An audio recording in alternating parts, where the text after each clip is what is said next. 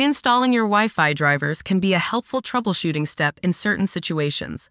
One of the reasons why you might consider reinstalling Wi Fi drivers are driver corruption. Over time, Wi Fi drivers can become corrupted due to various reasons, including software conflicts, updates, or system glitches. Reinstalling the drivers can resolve issues arising from corrupted driver files.